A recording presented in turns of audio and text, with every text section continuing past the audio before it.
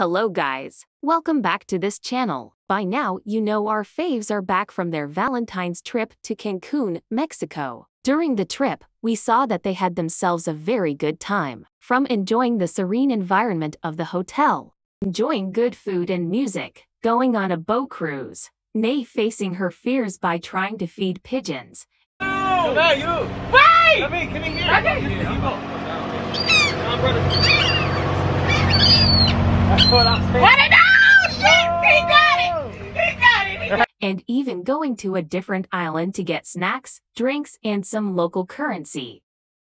Since they returned, Nay has dropped a get ready with me video as she gets ready to go have a ladies' night out with her friends and catch some fun. During this said video, Nay made it known that Ar'mon is at his place working on releasing I Caught You. Anyways, on Ar'mon's Instagram, he left an update saying that he took some time off he will be posting soon. I would like to commend Nay for not ditching her girls because of her relationship. It is always healthy to have your good friends around even when in a relationship. Emphasis on good friends. Let me know what you think of this video down below. Thanks for watching. Talk to y'all later.